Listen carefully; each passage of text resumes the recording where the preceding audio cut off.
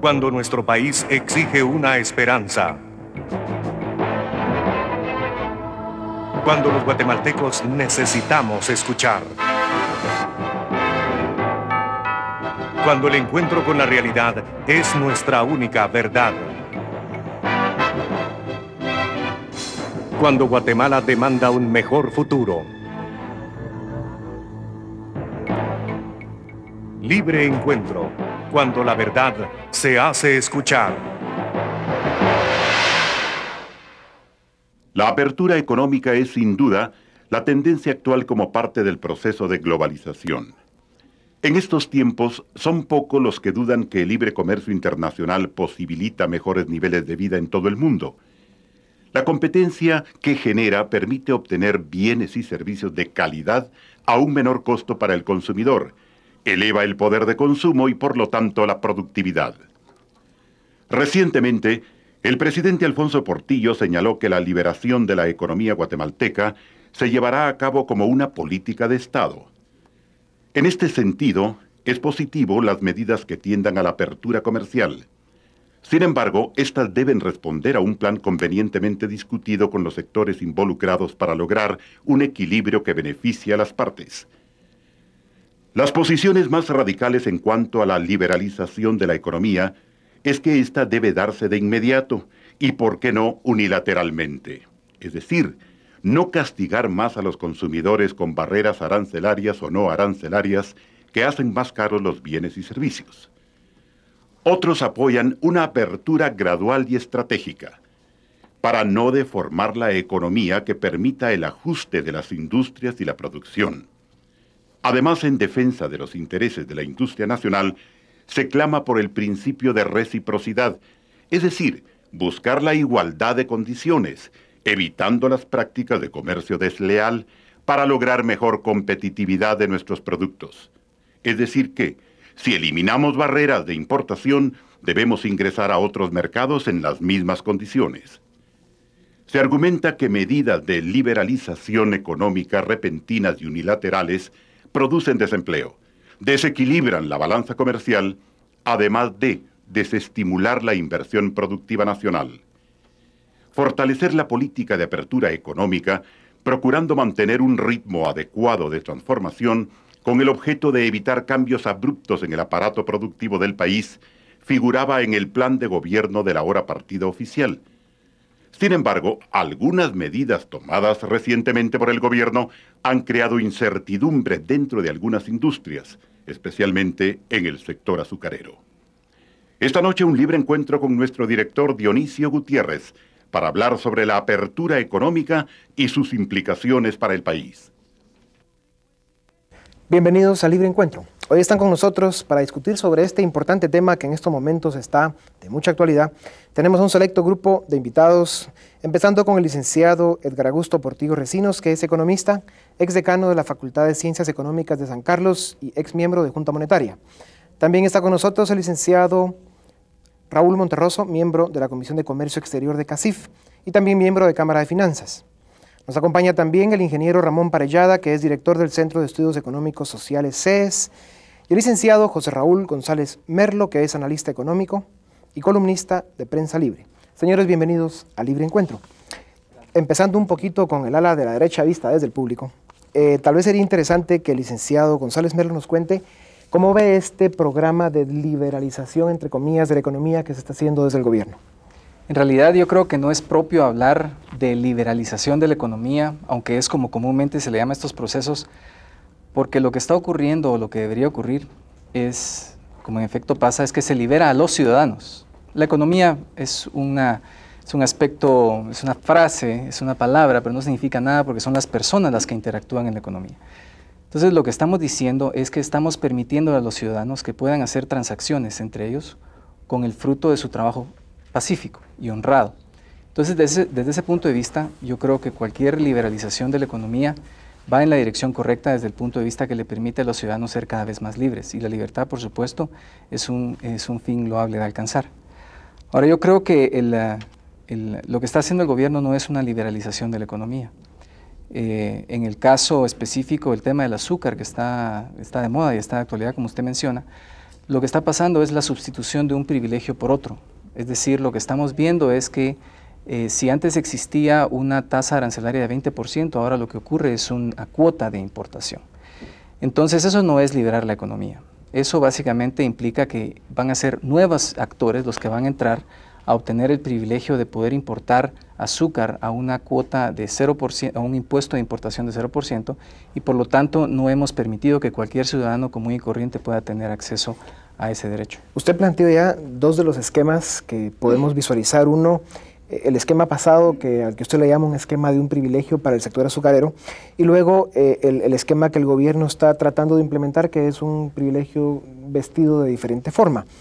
Em, y está la tercera opción, que es básicamente la que ustedes sostienen, que es una, apertura total, unilateral, simplemente que el que quiera traer cualquier producto a Guatemala que lo traiga, cero arancel y, si posible que el transporte sea gratis, etcétera, etcétera, para que el consumidor, entre comillas, pueda tener eh, acceso a bienes más baratos. Ahora analicemos un poco qué pasa con, con la economía guatemalteca o con la población guatemalteca en un esquema como ese y tal vez para eso el, licenciado Monterroso, la posición del sector privado, ¿cuál sería ante una propuesta de apertura como esta?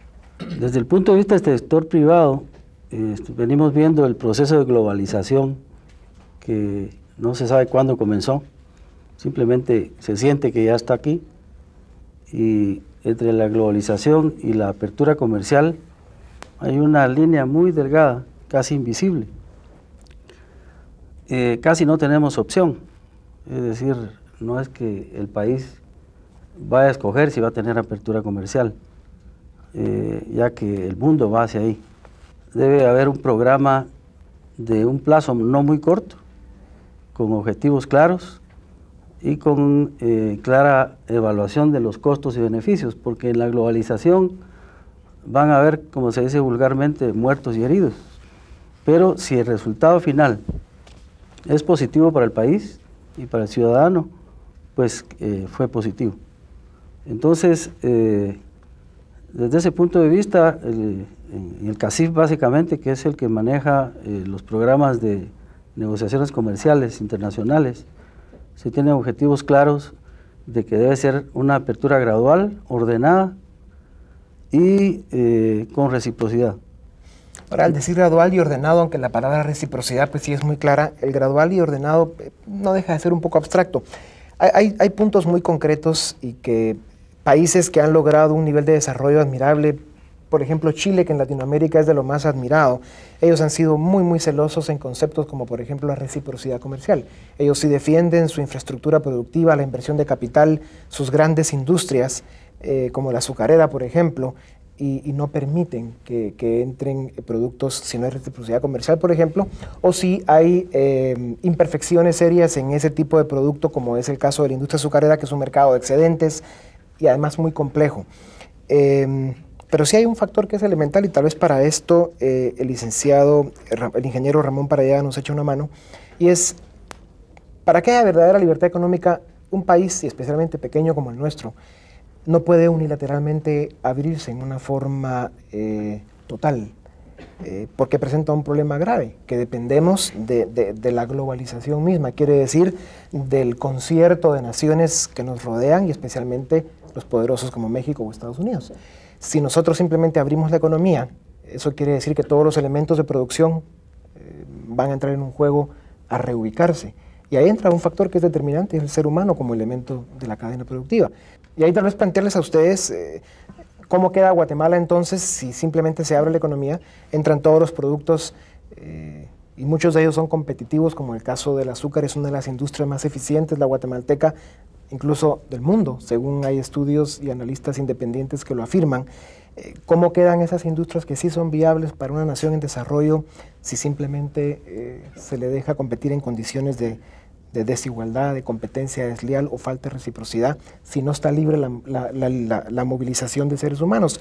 Lo que quiero decir con esto es de que esos miles de trabajadores de una industria como la azucarera, pues que puedan ir a pedir trabajo a México, a Estados Unidos o, a Cuba, o qué sé yo, para que realmente haya un juego de los elementos de producción. ¿Cómo defienden ustedes ese, punto? Si me permite, yo estoy de acuerdo con lo que, con lo que Raúl, mi tocayo, acaba de mencionar en cuanto a que las medidas deben ser integrales. Yo quiero poner un ejemplo. Supongamos que va una persona con el médico es una persona obesa, es una persona que fuma tres paquetes diarios de cigarrillo, es una persona que tiene sobrepeso y padece de alto nivel de colesterol, llega con el cardiólogo y le dice, ¿usted qué me recomienda? El cardiólogo le va a recomendar, mire, baje de peso, haga un poco de ejercicio moderado, córtele las carnitas, no se eche tanto los tragos y por supuesto deje de fumar.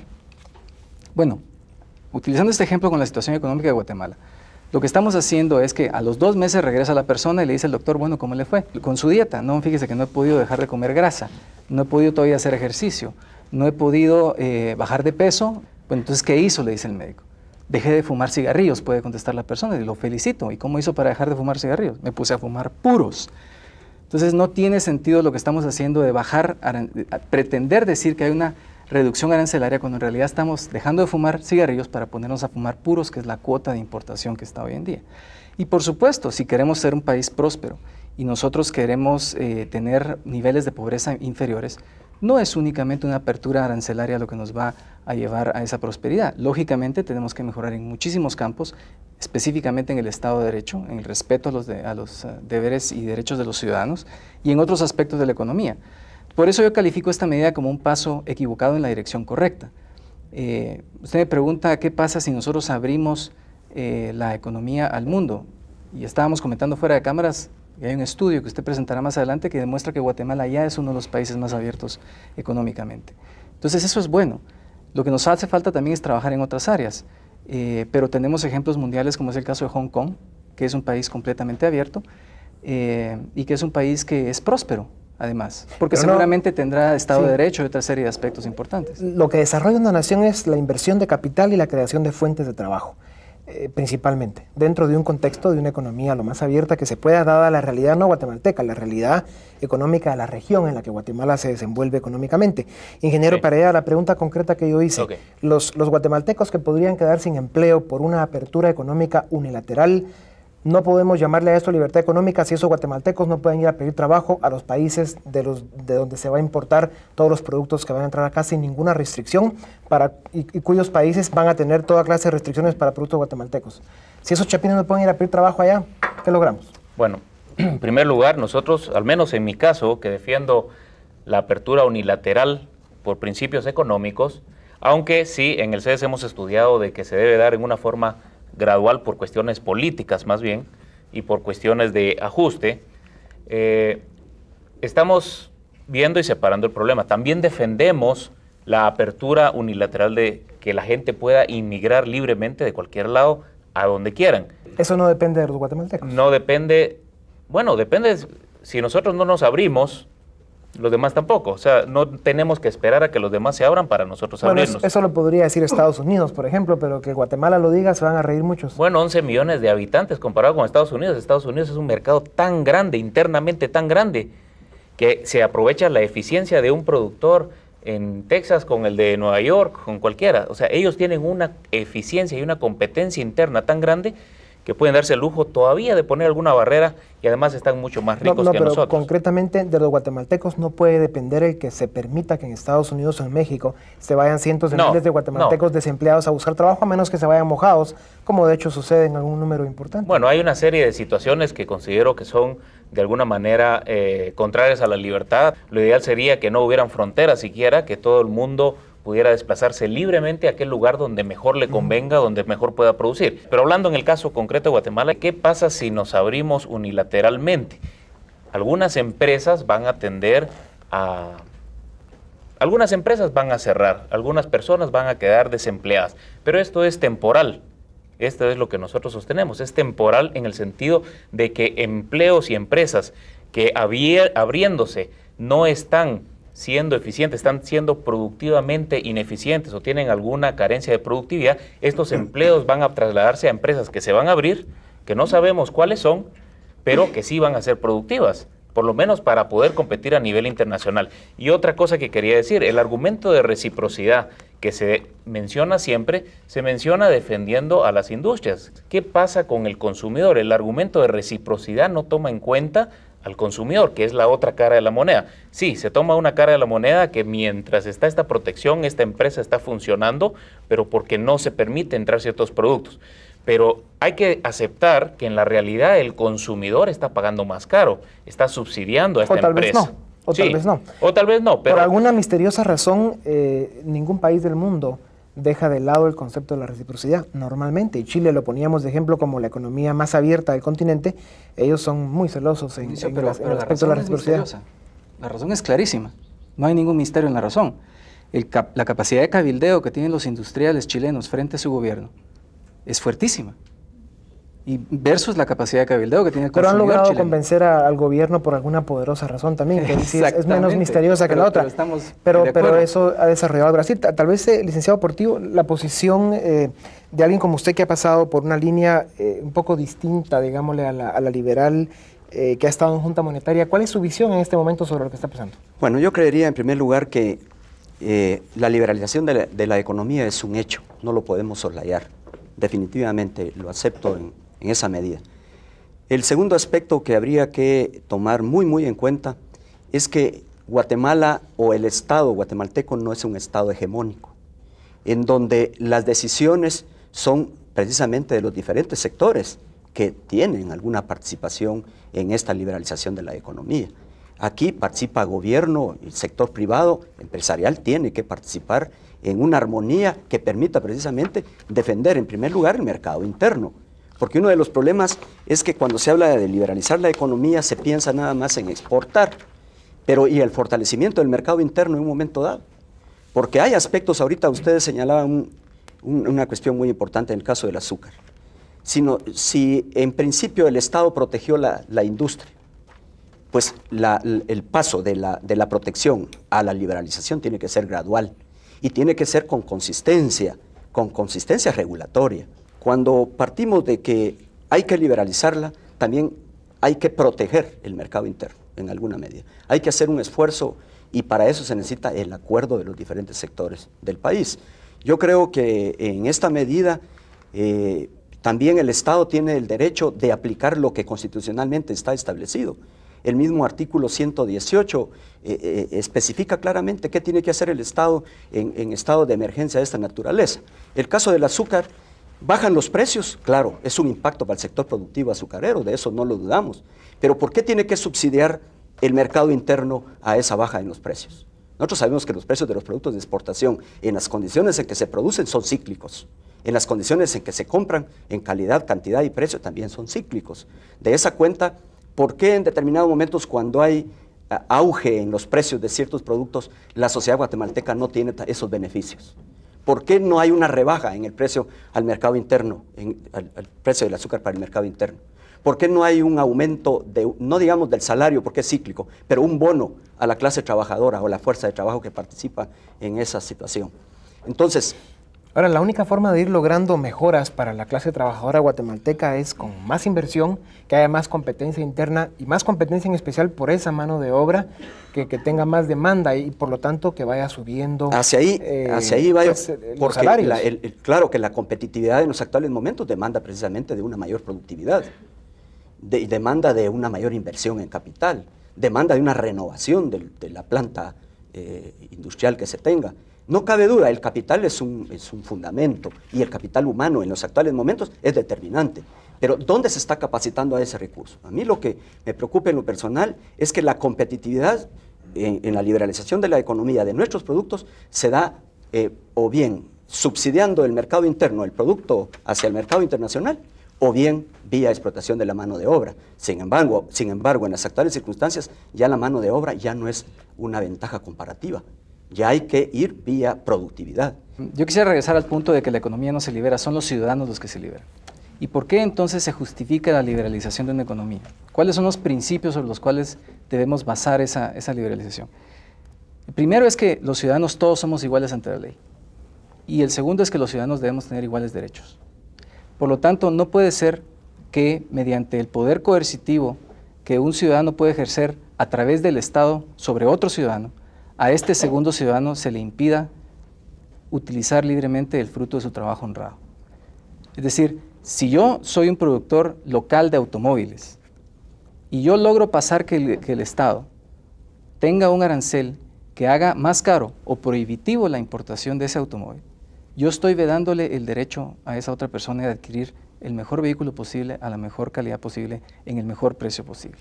Pero también el productor le está vedando en un momento dado el derecho a ese consumidor cuando está a nivel de oligopolio o monopolio. Y, la constitución de la, de, la República de Guatemala define precisamente las medidas que debe tomar un, gobierno en un momento dado contra estos oligopolios. ante la ley. Igualdad ante la ley e igualdad de derechos. Pero no la tiene el consumidor. Por lo tanto, no si, la, si la oferta está en manos del productor, si existe una, y ahí se definen precios, cantidad y calidad, no puede, bajo ningún punto de vista, tener el consumidor ese derecho al que ¿Y no lo puede importar? ¿Lo puede importar esa o no? Es la, esa es la diferencia. Si se pudiera importar, si hubiera libertad de entrada en todo momento, no habría problema, no habría ni siquiera necesidad de una ley para un monopolio o un oligopolio. Ahora, ¿por, qué, no Porque lo puede importar? La competencia podría venir en cualquier momento de fuera. ¿Por qué no lo puede importar? Porque hay regulaciones. Y esas regulaciones también deben de ser un proceso. No se puede romper una situación de la noche a la mañana. Es decir, si hubo una... Yo diría que la cuestión de los aranceles debería de ser una situación, un proceso, un proceso que se vaya disminuyendo conforme el mercado va demandando y se va abriendo la economía. ¿Y ese proceso debe ser unilateral, Chapín, o debe ser regional con los países con los que Guatemala tiene relación económica? Yo creo que en primer, en primer lugar con los países que tienen relaciones económicas debe de haber Y esto es para que la globalización tenga lógica, tenga sentido, sea coordinada. Y no solo al final salgan beneficiados unos Y, los chapines salgamos eh, fregados dentro de este contexto. Eh, no solo debe ser regional por estrategia, sino por compromiso, porque Guatemala tiene compromisos a nivel centroamericano, tiene acuerdos de cierto eh, tipo, eh, mediante los cuales antes, por ejemplo, hace poco Nicaragua decidió rebajar los aranceles en determinado producto y tuvo que consultar a los otros países de Centroamérica para ver si estos estaban de acuerdo en que se rompiera una, sí, pero entonces así nunca vamos a llegar a una verdadera liberación, porque lo que va a pasar es que vamos a depender de los más ineficientes. Para poder abrir el mercado necesitaremos de los más ineficientes. Si Guatemala está mucho más eficiente que otro país, tendremos que aguantarnos al nivel del otro. Ese es el problema eh, de los tratados regionales. queremos, si queremos eh, lograr buenas negociaciones, como país pequeñito siempre vamos a salir mal. Debemos tratar de negociar como región pero para eso primero tenemos que ponernos de acuerdo como región. claro, si tenemos que arrastrar al más ineficiente, habrá que Ahora, echarse en hombros a los más ineficientes. El, sector privado siempre ha tenido un terrible problema de comunicación y es que ni siquiera han podido contar con claridad el via crucis que pasan cientos de empresarios guatemaltecos tratando de exportar bienes eh, o productos o servicios a México, por ejemplo. Es terrible el via crucis por el que pasan. Y no digamos a Estados Unidos, que hay otra serie de problemas que no, nos daría tiempo enumerar acá. O sea, sí tenemos un problema real que no solo depende de nosotros, una apertura económica unilateral. Cuando el licenciado González preguntaba en qué podemos salir fregados si esto eh, pues, se hace, pues hay situaciones como, por ejemplo, la economía del mundo está tendiendo a, a buscar economías de escala. Se están convirtiendo un sinnúmero cada vez mayor de industrias y empresas que, que, dan bienes y servicios de otros tipos en monopolios o oligopolios y se puede ver la automotriz, la industria del papel, el cemento, las finanzas, las telecomunicaciones y van sumando y cada vez son más y es impresionante la velocidad que va esto. Entonces eventualmente eh, si esto se da y a Guatemala solo vamos a importar productos eh, de esos grandes oligopolios o monopolios de las cosas que aquí consumimos, pues si todos los trabajadores guatemaltecos que se van a quedar sin empleo en Guatemala pueden ir a pedir trabajo a esas industrias, por supuesto que la libertad no, se van a quedar va, sin va a cerrar va a cerrarse el círculo. Pero, la reciprocidad de, inicio es una utopía. Es una utopía porque vamos a negociar un tratado de libre comercio con México y siempre vamos a dejar los cinco o seis productos que más le interesan a los grupos industriales más importantes de Guatemala fuera de ese tratado de libre comercio, de la misma manera que podremos negociar uno con Chile y quedarán fuera, negociaremos uno entre Centroamérica y quedarán fuera implícita o explícitamente, y entonces la reciprocidad es una utopía, porque eh, Pero es mucho más utópica o, las posiciones dogmáticas o, académicas teóricas, porque de hecho ojo, porque no, se, no se han dado... Yo, creo que, yo creo que lo que pasa es que mientras más tiempo logremos, y es una actitud humana que yo considero normal y la entiendo, pero no la comparto, mientras más tiempo podamos retrasar el hecho de que nos entre la competencia, yo voy a hacer todo lo posible porque así sea.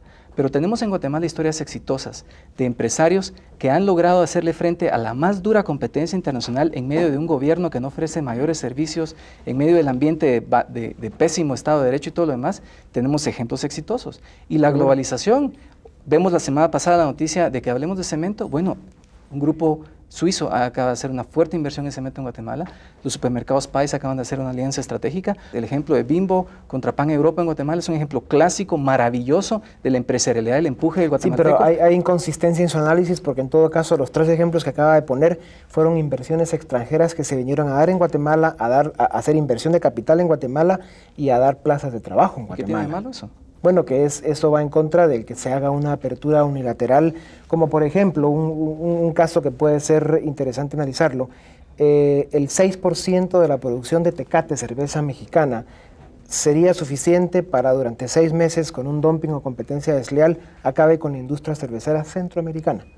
Entonces, eh, con una apertura unilateral de esta región, pues probablemente Centroamérica perdería inversiones de capital muy importantes en esa industria, eh, muchísimas fuentes de trabajo, y, y, después de X número de meses con un dumping o competencia desleal, pues pasaría lo, lo, que, lo que sucedería si se permitiera ese tipo de apertura unilateral. Pero no es posible hacer una alianza estratégica con Heineken, que es el productor más grande de cerveza del mundo. Por supuesto. Bueno, entonces lo, ahí está que, la creatividad. Lo que todo gobierno debe buscar en todo caso es atraer inversiones de capital, que es lo que realmente da desarrollo, que se creen fuentes de trabajo y por supuesto que vayamos dejando las actividades productivas en las que seamos de verdad eficientes. Ahora, en el caso del azúcar, yo pensaría que cuando se habla hoy de que el gobierno tomó una medida unilateral, también los azucareros lo tomaron unilateralmente, aumentaron el precio del azúcar de la noche a la mañana. Bajo esas circunstancias, ¿qué queda a un gobierno en un momento dado? Pues acudir a, la constitución política de la República, a la, a, la, a la legislación que para el efecto está. Entonces, yo sigo pensando que uno de los problemas es que nuestro país eh, está, eh, tiene una cultura eh, de actuar individual.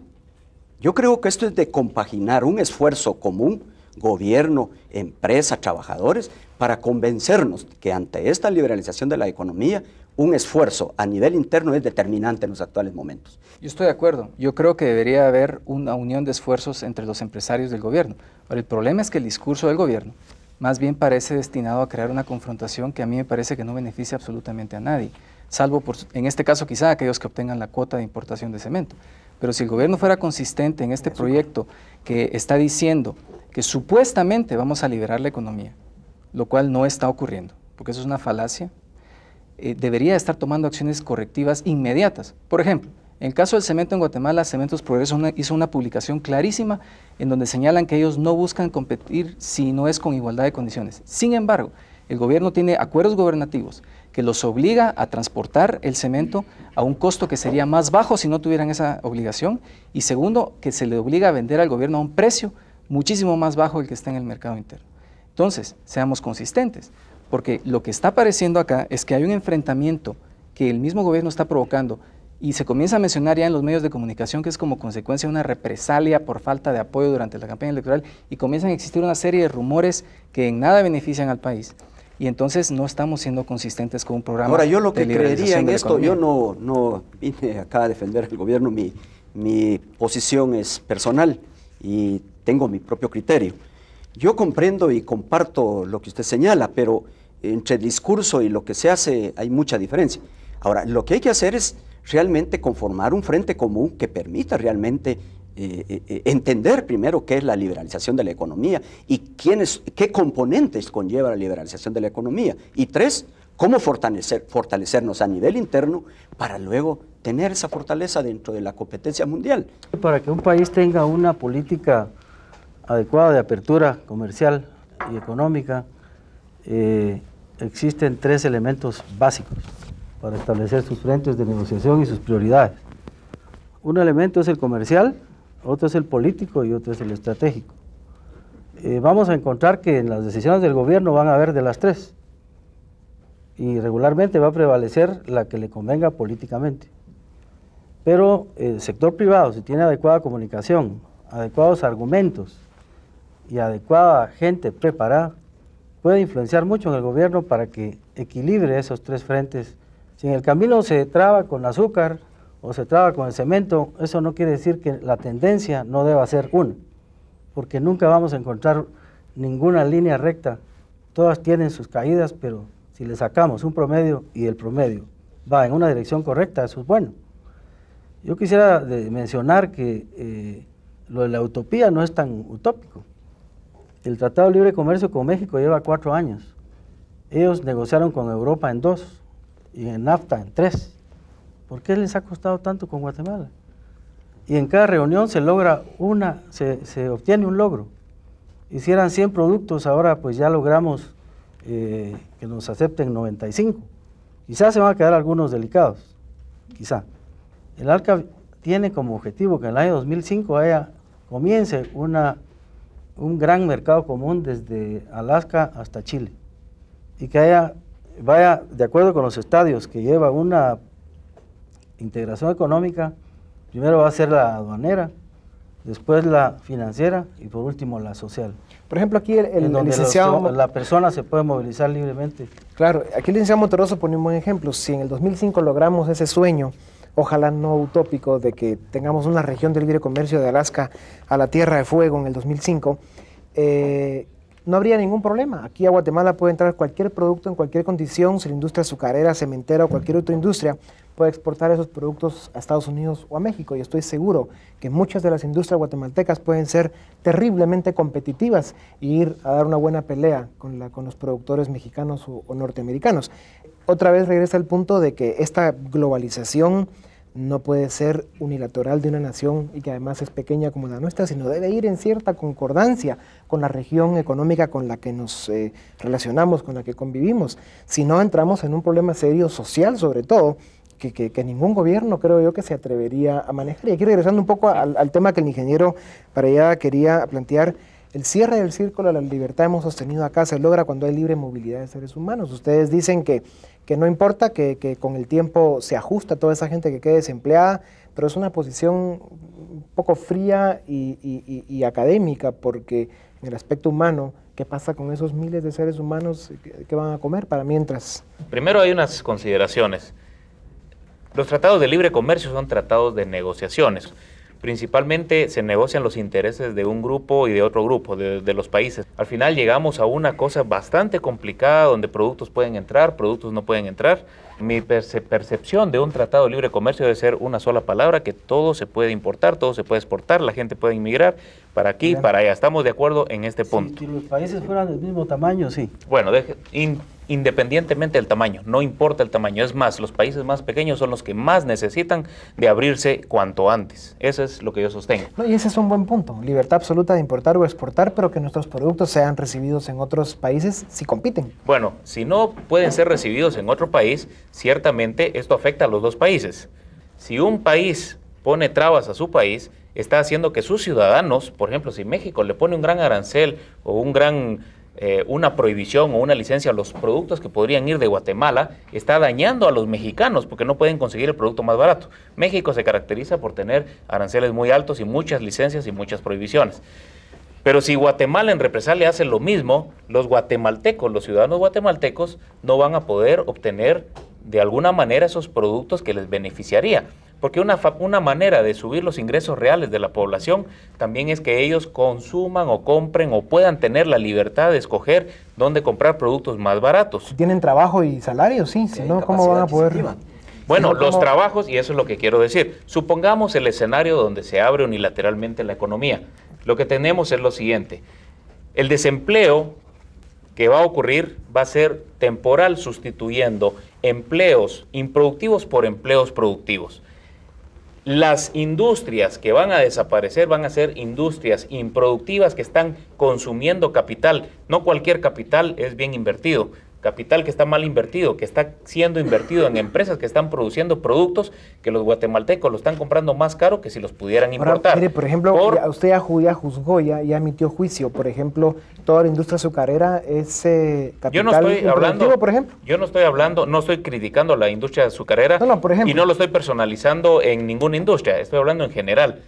De hecho, yo creo que la industria azucarera es muy eficiente y así como ellos dicen, y he tenido pláticas con ellos, si son tan eficientes, ¿cuál es el problema sí. de abrir la economía? Ellos dicen, no tenemos ningún problema. Ellos ya aceptan. Lo que sí necesitan es una etapa gradual. ¿Por qué? Porque yo estoy de acuerdo en que las reglas del juego no se pueden cambiar de la noche a la mañana. Es lo único que estoy de acuerdo. Pero económicamente no puedo defender bajo ningún punto de vista que un consumidor tenga que pagar, que se le ve de su derecho, su libertad de poder comprar un producto que lo podría conseguir más barato por tener que subsidiar a una empresa local. Esta es la única parte que no, pero puedo es defender. Que lo que pasa es que con un país pequeño, eh, si de cualquier otro país mucho más grande, donde, donde no necesariamente se produce más barato, pero sí tienen la capacidad de poder traer cualquier cantidad de productos con dumping o competencia desleal, bajo la teoría de ustedes, cualquier inversión eh, de capital industrial en Guatemala es improductiva porque si no puede competir contra un dumping o competencia desleal hay que cerrarla. No todo tiene dumping. No todo tiene dumping. Es que también es, muy fácil hacer generalizaciones, porque si estamos hablando de que el consumidor es el que va a poder escoger qué comprar, si algún producto viene porque lo está subsidiando México o porque lo están haciendo el famoso dumping, que eso del dumping es, para mí es un argumento que, se han jalado mucho de la manga. No me creo ese argumento. Eh, ese, el que quiera vender tiene libertad de vender al precio que quiera no, no entiendo por qué se le tiene que cohibir a un individuo hacer uso de su derecho de propiedad, de venderlo al precio que quiera. Si uno vende más barato, incluso internamente, entonces hay muchas empresas que hacen dumping y nadie dice nada. Es decir, si uno quiere vender barato y regalar el producto, ¿por qué no lo puede hacer? Aquí es donde viene el problema. Es, es un problema, este no es un problema económico prácticamente, es un problema de derecho de derecho de garantizar que cada quien que tiene su propiedad pueda hacer uso de ella. Es que al, nivel que lo estamos discutiendo acá es un problema de estrategia de Estado, porque otra vez, si por ejemplo una, si se refiere, industria... Si, me vas a preguntar del caso del azúcar, eh, comparto 100% lo que dijo José Raúl, lo que hubo ahorita no es una liberalización, hubo una sustitución de un privilegio por otro, o digamos de un de una barrera arancelaria por una no arancelaria, que es otorgar licencias y otorgar permisos que eso crea mucha discrecionalidad a quién se le da y quién lo hace. Ahí esto es un cambio por otro. Pudiera ser una primera medida, pienso yo, para reflexionar en el camino pues, de estas situaciones. Porque yo insisto, si los azucareros tomaron la medida unilateral, es probable que el gobierno la tomó de esa manera también. Es otra vez el tema de una estrategia de Estado yo pienso. que incluye obviamente a todo el sector productivo. Y en ese sentido, cuando se habla de dumping, por supuesto que hay muchas industrias, no solo que no son competitivas, sino que probablemente hay que cerrarlas, que es lo mejor para el país pero también hay muchas industrias que por situaciones especiales o por cuestiones de, una realidad de que hay otras eh, industrias grandes en México o Estados Unidos que tengan ganas de venir aquí con dumping real o competencia desleal, eso, eso no nos hace mejor como nación, eso es, pan para hoy, hambre para mañana. Le voy a poner un ejemplo. Está demostrado en muchos países del mundo donde sí han hecho una estrategia de Estado y han evitado. Le voy a poner un ejemplo interesantísimo. En el Silicon Valley, el Valle de Silicio, donde está ahorita esa pujanza, ese riesgo por invenciones de, eh, productos de computación, microprocesadores y todo esto. Hay un empresario, TJ Rogers, él ha hecho cartas en contra del gobierno para que no lo protejan. Ha pedido al gobierno que no protejan su sector ni su industria.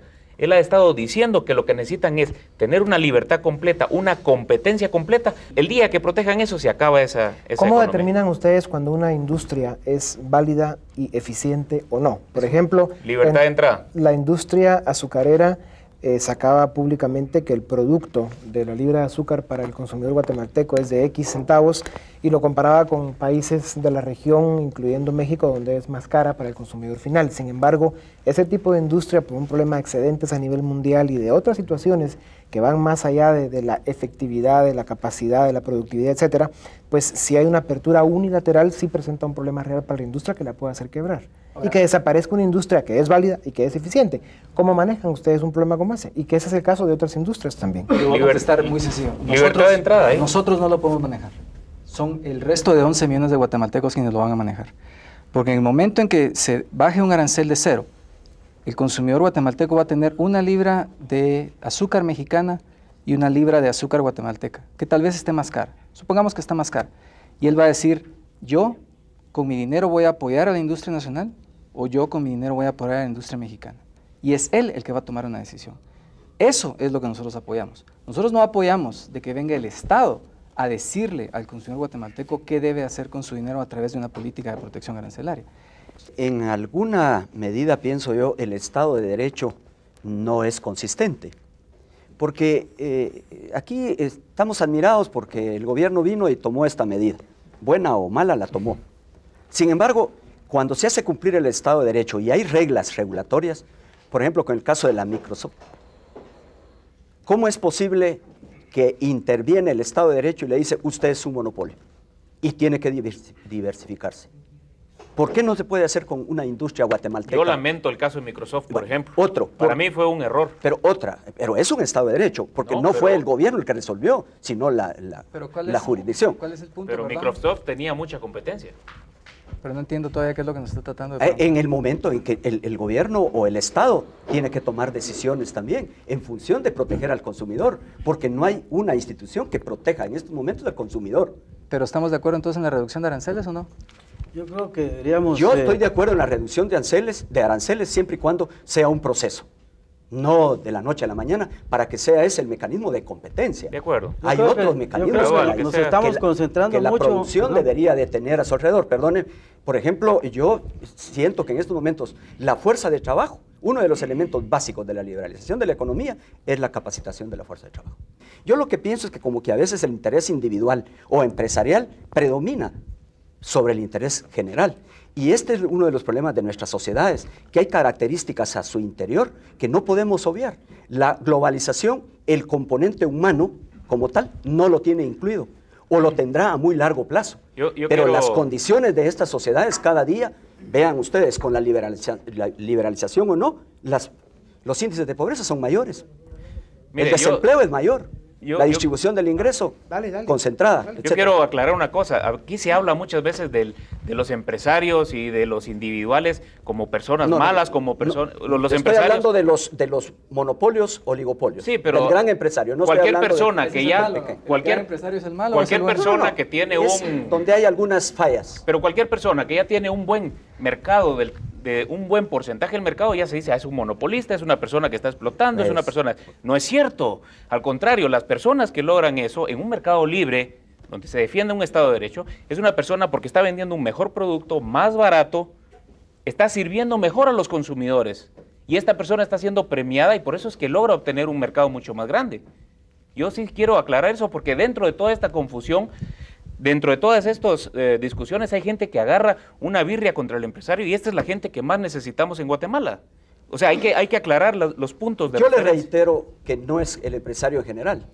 Hay empresario dinámico. El empresario hay empresario actúa- consecuente, actúa pero por hay empresario incentivos. que impone calidad, cantidad y precios a y su todos sabor y actúan antojo. buscando ganancias y, Y- tienen miedo a las pérdidas y en esta manera sirven mejor al ¿Por qué, consumidor. por qué la industria azucarera va a subsidiar el mercado interno? Bueno, ¿Por este es un problema de derecho. Ah, ¿Por, qué bueno, el bueno. gobierno, ¿Por qué el gobierno Bueno. le otorga ese arancel o esa protección? Por eso es hay que, que- no se puede hablar solo del empresario. Por eso hay que discutir esto. Es, lo Es yo todo decía. una relación. No es, no es un Estado hegemónico. Es un Estado mercantilista lo que Bueno, tenemos aquí. bueno, estamos ahí de estamos acuerdo. de ¿Me permite? A pesar de que Guatemala es uno de los países más abiertos del continente. Ustedes hablan de igualdad ante la ley y de Estado de Derecho, pero en un momento determinado, en una apertura unilateral del azúcar, por ejemplo, que es un ejemplo de moda, ¿cómo queda el- la igualdad ante la ley de Guatemala como nación ante el concierto de naciones del mundo, ante la globalización? Ahí se pierde el Estado de Derecho. ¿Por qué? Porque la industria azucarera guatemalteca estaría subsidiando al mercado mundial. No, pero- pero- y esa pero ecuación estudienla, no es el momento de entrarle. Hay que traer es un una experto en realidad, derecho es una aquí. consecuencia. Entonces, e- es, un- es una industria que al final eh, ti- tiene un caso especial que hay que analizar como otras. Cuando ustedes hablan, por ejemplo, de los aranceles, ese es un efecto, no es, no es la causa. Probablemente lo que habría que hacer es ir a analizar al- a, a los básicos qué industrias son realmente eficientes y cuáles no. Pero esa Y estoy seguro que muchas de las industrias eficientes no necesitan, como de hecho sucede en Guatemala, ningún tipo de protección y compiten ya con el mundo. De acuerdo. Sí. ¿verdad? Y otras industrias que probablemente como el azúcar o otras necesiten algún tratamiento especial por la realidad eh, regional, Pero ¿por qué lo por van a el pagar tipo los de producto. ciudadanos? Bueno, lo, ¿Por lo qué que tienen sucede que subsidiar a un que ciudadano puede ser pobre peor para el país el Puede manejarlo de otra ser. forma. Le Así puedo- Yo creo que no. Puedo proponer un mecanismo, Denise. Definitivamente que cualquier industria que esté protegida está eh, eh, creando un sobreprecio en el producto y que lo está pagando el consumidor. Para hacer más transparente esa protección que usted dice que probablemente necesitan, lo que esa industria debería de tener más bien debería ser un subsidio directo por parte del gobierno. Entonces yo creo que lo que deberíamos de hacer es subsidiar directamente a cualquier industria que lo necesite para que todos los años salga en el presupuesto general de la nación cuánto se le dio a la industria X, cuánto se le dio a la industria Y, y entonces sepamos exactamente qué tan eficientes o qué tan ineficientes son. ¿Y cuáles Eso industrias son? Podría no? servir, aunque es mucho más fácil que eso, ¿verdad? Solo hay que ver el precio al que, al que consume el guatemalteco cada uno de los productos que se producen en Guatemala y compararlo, cómo lo, cómo lo consumen el resto de ciudadanos del resto del continente. Pero eso está Y eso sería por la suficiente. protección. Y eso está distorsionado por la protección porque hoy en día pagamos más barato, pero tenemos un arancel. Tendríamos que ver cuánto pagaríamos sin el arancel. Y después tendríamos que ir a ver cuánto le tenemos que dar de subsidio a la empresa. Hay un costo de producción, es un precio al que se vende y ahí se encontraría fácilmente la comparación. Pero vamos a darle un poco de chance al público, aunque el, el, quería Un punto, por favor. Nos hemos concentrado mucho en los aranceles y debemos tomar en cuenta que el comercio y la producción de los países más avanzados es el de servicios. Nosotros tenemos en servicios un 20% del Producto Interno Bruto. En Estados Unidos es el 70% de los servicios. Y esos no tienen aranceles. Esos entran. ¿Por dónde? Transfronterizos, por internet. ¿Cómo hacemos para medir? Se habla bastante de los miles de empleados que van a quedar temporalmente sin empleo. Pero ¿y qué pasa con los millones de guatemaltecos que tienen que comprar azúcar, pollo, leche a precios artificialmente caros. El tema del desempleo es un tema que nos preocupa a todos, pero hay varios ejemplos exitosos en Guatemala que lo que deberíamos hacer es analizar por qué esos fueron exitosos. En el caso de Telgua, que efectivamente también despidió a un grupo importante de trabajadores, ellos pudieron encontrar la oportunidad de trabajar en otras compañías de telecomunicaciones que estaban dispuestas a contratar a los mejores trabajadores y posiblemente otros también se quedaron sin desempleo. Si el gobierno crea las condiciones adecuadas para que la inversión venga a Guatemala, esa gente puede emplearse de nuevo. Por supuesto, yo creo que esa es precisamente la forma en que una nación se desarrolla. Dentro de poco, lo hemos ofrecido acá varias veces, vamos a tener terminado un análisis donde vamos a demostrar que Guatemala tiene una de las economías más abiertas del continente, donde la mayor parte de las industrias que siguen vivas hoy en día sí son capaces de competir, obviamente en una, en una eh, globalización que sea recíproca porque si no pondríamos en riesgo lo que es eh, la estrategia de Estado, el, desarrollo social de nuestro país. Podrían darse cosas que ningún país ha experimentado. De hecho, los países que han sido más agresivos en abrir sus economías han tenido mucho cuidado en sus industrias que son competitivas y que por razones estratégicas las han protegido de competencia desleal, de dumping o de alguna situación especial, como sucede claramente con el caso del azúcar. Señor, yo creo que el problema de Guatemala no es el bajarle 10 centavos al azúcar.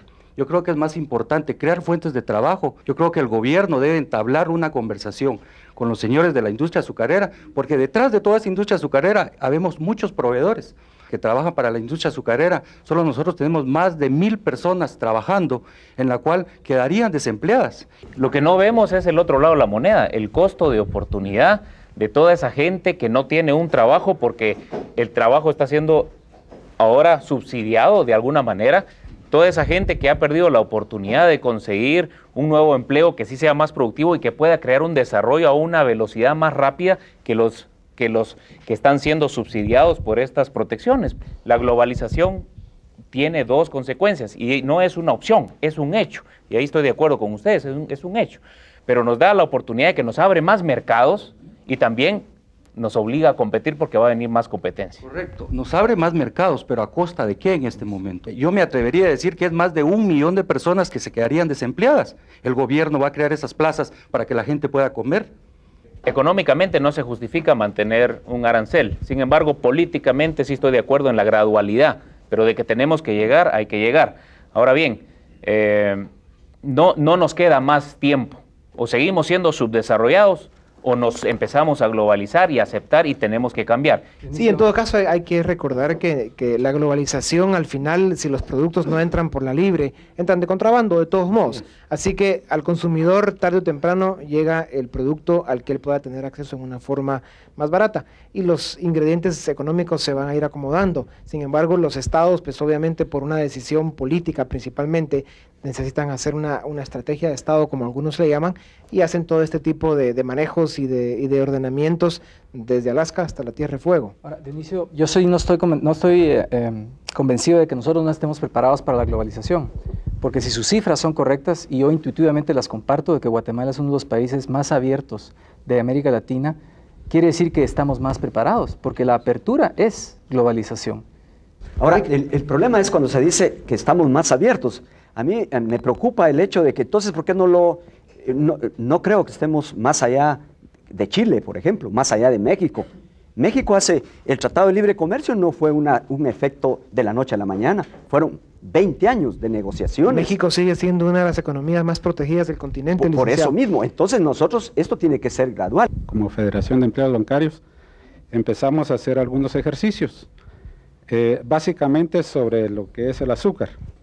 Y aquí eh, estamos demostrando en este cuadro de que el precio actual, promedio aproximadamente, es de 193 quetzales el, el quintal, y em, en el mercado eh, internacional estaría a 54.60, ¿verdad? Si se importa en esas condiciones, prácticamente, eh, y si, le sumáramos un 30% de, que incluye ganancia por fortificación del azúcar, eh, se estaría vendiendo el azúcar que se importe a, la población guatemalteca a a 71 centavos, quetzales aproximadamente, que sería igual a 71 centavos por libra. O sea que realmente sí beneficiaría desde el punto de vista del consumidor. Tal vez el IC Monterroso nos ayuda porque cuando hacen esa comparación hemos entendido de que agarran de base el dato de bolsa de Nueva York o alguna otra bolsa mundial y que no, son, no, es comparar peras con peras, sino que son dos cosas totalmente diferentes. En todo caso hay que comparar el precio que usted dio en Guatemala, 193 quetzales el quintal de azúcar, compararlo con lo que eh, cuesta producirlo en otros países que producen azúcar, no el precio de bolsa, porque ahí es donde hay una distorsión tremenda que no hace justamente comparable esos datos. ¿Alguien quiere opinar en el tema? De acuerdo. está distorsionado ese análisis. Es decir, se está comparando peras con manzanas. Eh, pruebe usted importar eh, unos 100 quintales de azúcar y va a buscar quién se los vende y a cómo se los cotiza. Tiene que estar inscrito en la bolsa, tener todo un aparato y si no le va a costar 300 dólares el quintal. Entonces no, es comparativo.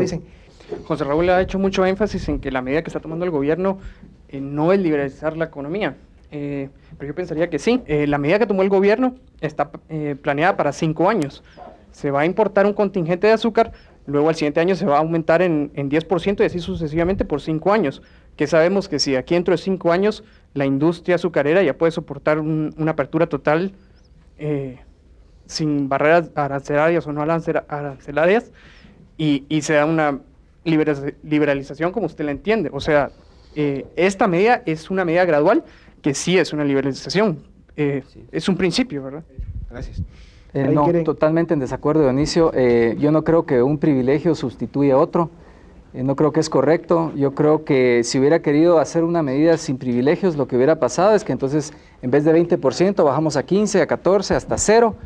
Pero darle ahora el privilegio a cierto grupo de ciudadanos de poder importar azúcar sin impuestos de importación no es liberar la economía.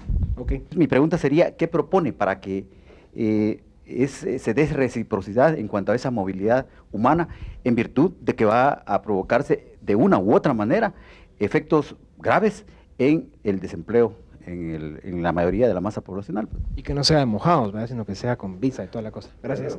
Eh, estoy 100% convencido, seguro, y con más tiempo podría demostrarlo, de que estamos mejor en una economía abierta, aunque no haya inmigración, que en una economía cerrada.